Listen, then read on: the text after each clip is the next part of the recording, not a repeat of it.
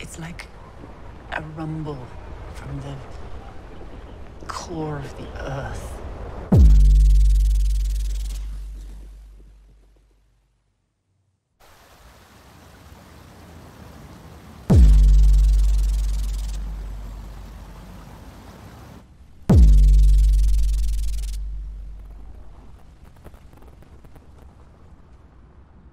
This is probably 6,000 years old. Hole. Yes. Drilled into her head to release bad spirits.